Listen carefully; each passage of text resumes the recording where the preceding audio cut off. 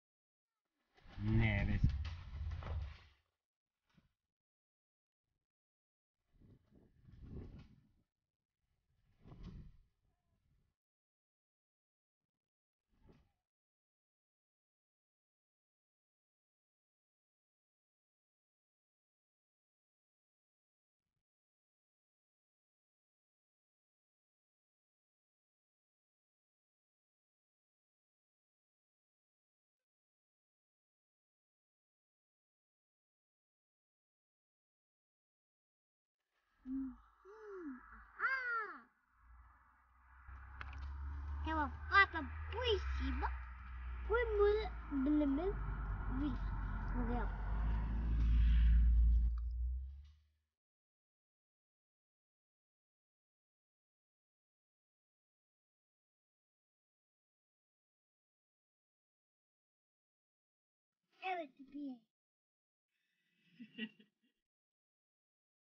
É tipo.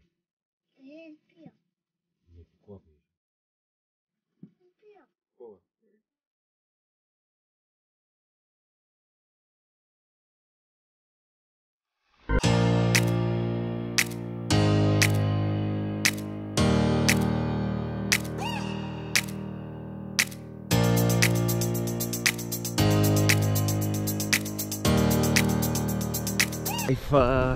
Of our um, off-grid sequence of this trip, probably the last one.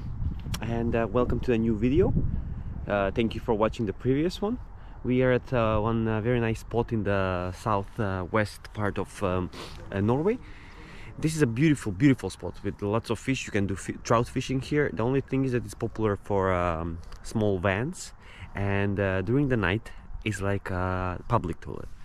Yeah, all of these vans that you can see behind me, if you can see, were going here to take their poo-pooing and peeping. So um, yeah, I'm, I'm I think I'm gonna write on Park for Night that uh, this is that kind of a place. So that's the downside, but it's beautiful. I caught a fish here.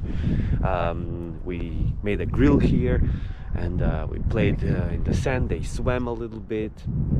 It's very very pretty. The thing is that now we are going towards the nearest city to try to find and refill our uh, gas cylinder and then uh, buy some extra fresh things from a market maybe find a playground for Mark to play because five days he's without a playground and then um, continue and find some other place to sleep we have eight more days in Norway because we just recently purchased the ticket uh, ferry ticket to Denmark it was 230 euros for the caravan and the car and us of course.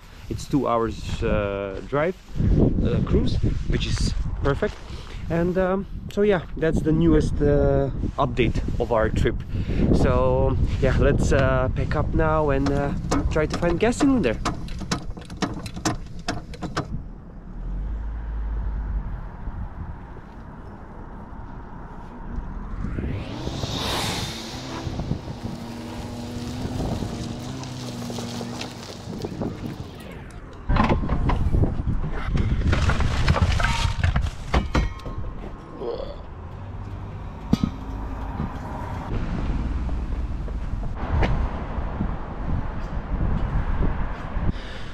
So yeah, you need to come inside to fill up. That outside is uh, only for those type of uh, gas cylinders that I don't have. I have the one, the German. So yeah, you need to come inside, give it to the employee and he charges it for you. Pretty convenient. Let's see how much it's gonna cost. So uh, roughly like 36 euros this costed. So guys, if you're traveling from a non-Scandinavian country, keep in mind that uh, the one cylinder that has the German outlet or inlet or valve or whatever it's called cannot be exchanged 90% in the places that they do exchanging of cylinders because they have a different ones they have the standard for Scandinavia and then this one that is similar to the German but different valve. So um, yeah you need to keep in keep that in mind when you're traveling in Scandinavia and using the gas. Now let's find a um, cassette cleaner here in this town cleaned up the toilets but we couldn't put uh, water because the, the tap for the um, uh, cleaning of the cassette was very close to the tap for water and there is no sign so you don't know which one is which. So yeah I didn't feel comfortable filling our tank with it and plus in Park for Night it said that uh, some Norwegian camper told a German camper that actually that water is not for drinking. Uh, so yeah. So what we're gonna do is now go to this big shopping mall try to find some Lego for Mark and get some fresh ingredients and maybe fill up some little bottles of water that we're gonna use in the campsite.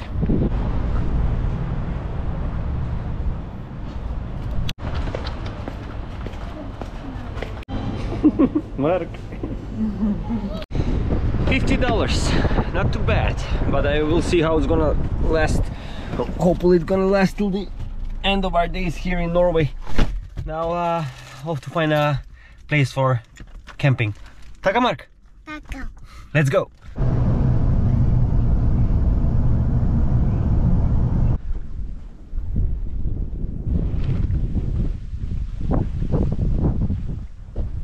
We found a good spot. Um, hopefully, no one will bother us here. I think that we are fine because we are away from um, residential areas and there is no prohibition sign, so I think it's fine.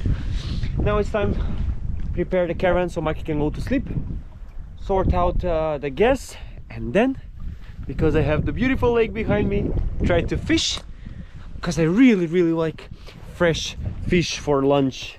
But um, not always I have luck to catch one. Maybe I don't have a good uh, good baits because I have still big uh, big hook and something smaller. But anyways this place is very nice it's very clean I don't think many campers are staying uh, at this spot, but anyway, we left some space for another one if they wants to join. I can see that there is marks, so somebody else was camping here. But um, so yeah, there is enough space for everybody else, and uh, they're welcome. If are not of those who pee pee too very close to you, I prefer those ones who go far away. So yeah, uh, let's set up the camp now.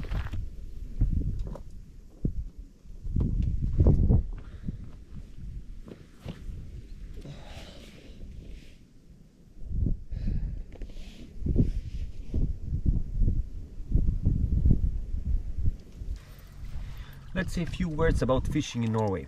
First of all, on the sea, you can fish wherever you want without a problem. Actually, only um, you cannot fish very close to a salmon farm. Actually, 100 meters from a salmon farm. That's the only restriction. But for lakes you and rivers, you need to go to www.inatur.com from where you purchase your daily or weekly or seasonal ticket uh, for fishing. They, they have different prices from 5, 10, 50 euros, etc. Uh, but some lakes they are not on Inatur. So I was asking around and I found a Norwegian fisherman. He said that uh, most of those lakes are privately owned. Like uh, some are partially, some are with a concession, and um, that you can fish. And if the person comes and tells you off, you just say I didn't know, and you go away. But uh, it rarely happens but still you need to have like uh, not to be out in the open to everybody can see you not to provoke the locals that you are fishing there not to be like you own the lake so as long as you're secluded and hiding a little bit you, you don't have problem fishing and um, so yeah uh, but none of the Norwegian fishermen that I saw are buying tickets. So they said, yeah, nobody's checking them. So I didn't feel good. So I did purchase tickets from Inatur, but yeah, you can go on your own risk and avoid uh, to pay. But the good thing is to pay because it helps uh, it helps in protection of these places and maintaining the areas that's what I think anyway let's see if we can get some trout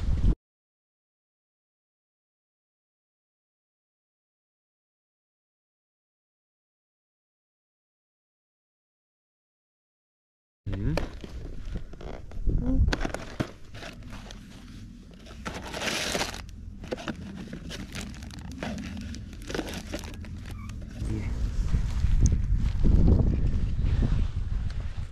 И ще едно аква трябва да има. Да няма. Ще първи не правиме? Ти бачи го правиш? На бачи трябва да има зелени после... Каква капа му стай? Джот. Каква? Зелена. Зелена? Да. Золотно-маджерский? Да.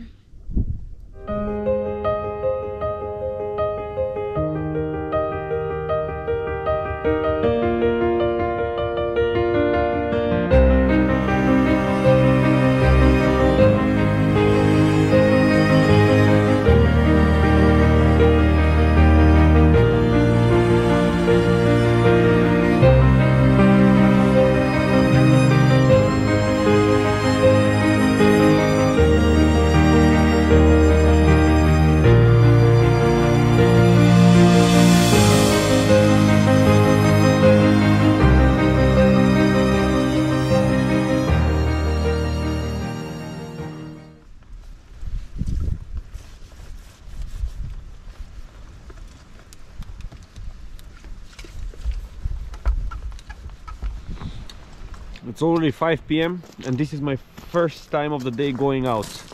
You remember this place from yesterday, how sunny it was and nice. Look at it now.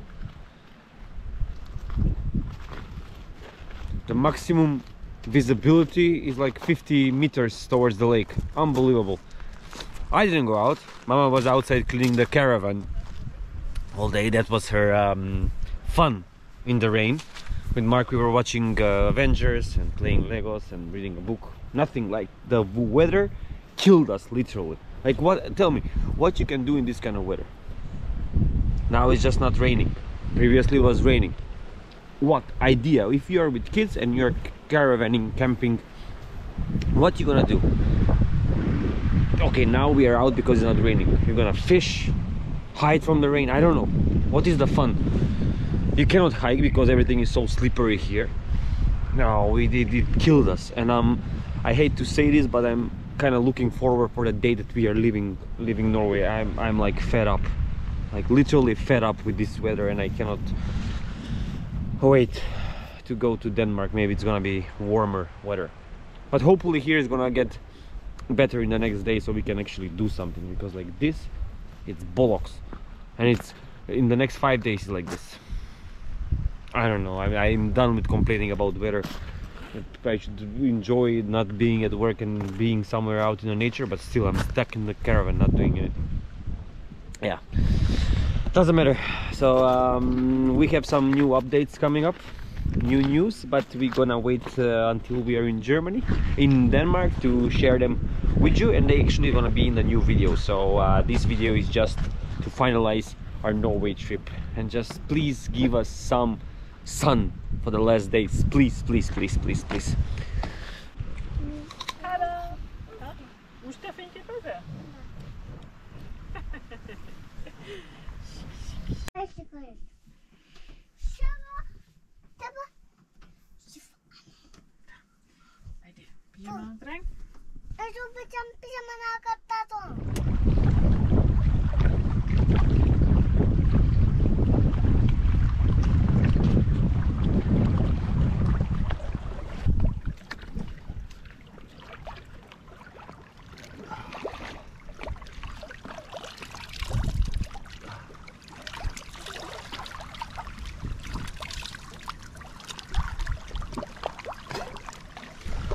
No changes in the blue sky into blue sky so still on the same temp uh, temperature, weather.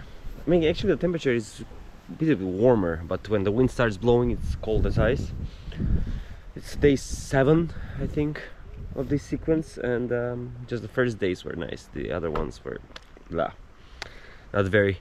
So we're gonna spend tonight off grid, and then um, find a campsite. Curse there, hopefully for a better weather, because uh, the forecast says on east at there is a better weather. So we're gonna go towards east towards Kristiansand where we're gonna get the ferry on the 9th uh, so yeah good morning. Sorry for my burnt uh, that I'm burnt out and I'm not excited but really I I am not excited about anything right now. So thanks for um, sticking up with with us and uh, our camping adventure. Let's find something else to do now today.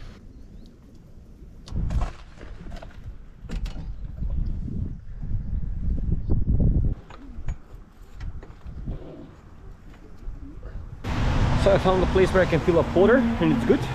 It's clean and it it's with a hose so I can um, just pop the hose in and it um, fills up but the thing is that the, the water pressure is very very very low. So it's gonna take some time to fill up and then fill up the bottles. But what else we have to do in this horrible horrible weather besides filling water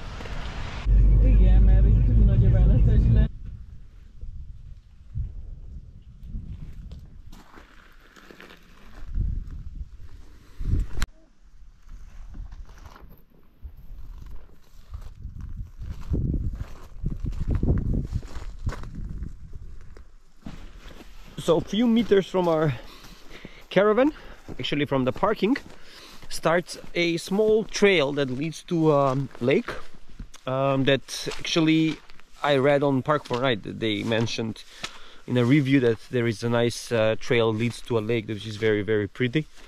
And um, now, it's not raining still. We have the rain equipment on us but uh, we're gonna go and uh, try to see that that lake. And uh, I don't know if you can see but yeah. that's our caravan over there. Yeah.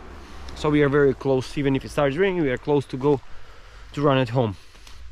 Uh, just doesn't matter if it's cloudy. Just no rain please. No rain. And the thing is that there is no fishing here. I would have liked to fish down there. There is a lake for fishing. So maybe later i will descend there and uh, try to catch some trout but that remains to be seen. I'm a little bit tired of fishing. I want to rest a bit from that. I just want to be outside and hike and be active because you cannot be so much active in the rain because it's uh yeah you know why? We saw a moose or elk whatever you prefer to call them. Finally after two months three months in scandinavia we saw them. It was big with antlers yeah someone is very excited. That's what I was hoping for. It was so cool. Ah, it's fu- Ugh. this is how we go with mark. Baba, O,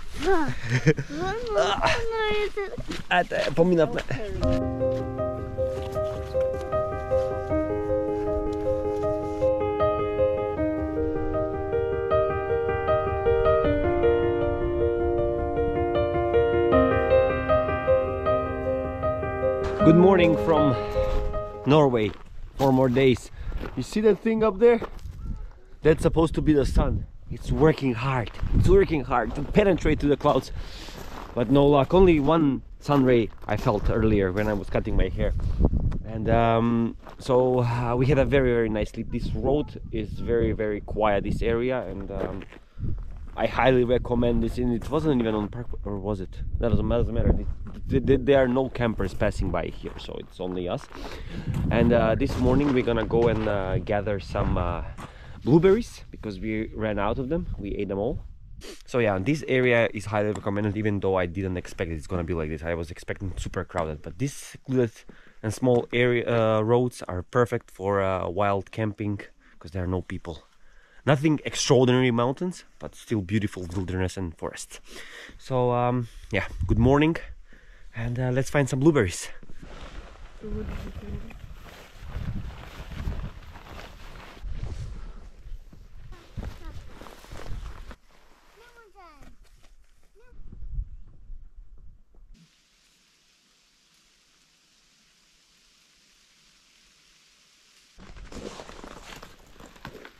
Afne. Schön da? Afne.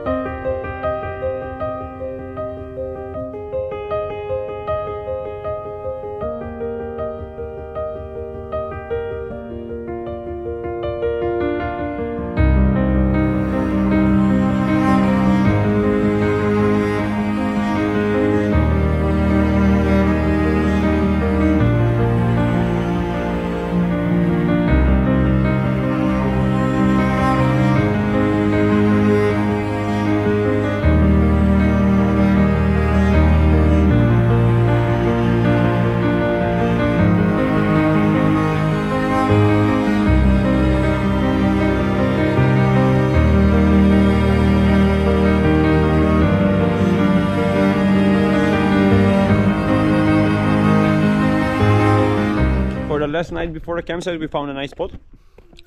That's it. It's on a lake.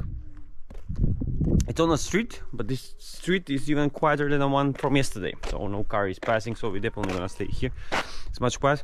There are those um, big uh, horseflies here that are biting, and this lake looks so clean that if it continues to be like this warm and sunny, sunny-ish, we're gonna definitely jump into the water. So um, now we're gonna make a little circle and check around what there is and um, yeah have some lunch and um, explore the area.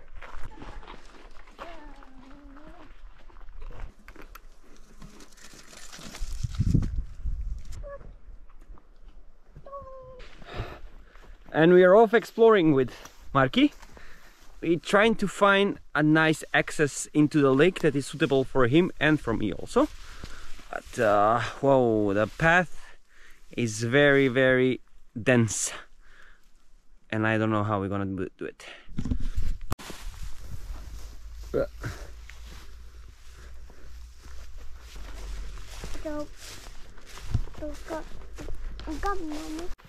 So definitely no access from here. I saw stairs leading into the lake but yeah definitely is not from here where I'm walking. Maybe it is but uh, the path is really overgrown with these uh, ferns. And uh, I'm not very comfortable walking through them when I'm with Mark because I'm afraid of ticks. But I'm already walking. Naked so doesn't matter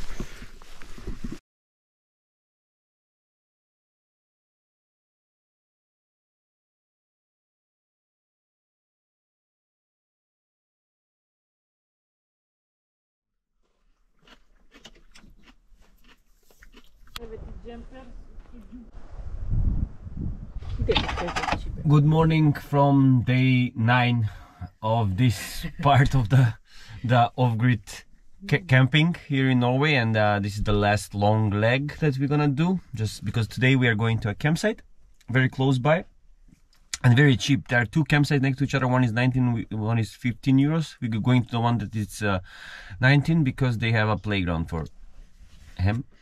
And uh, today we are eating this is called lutenica.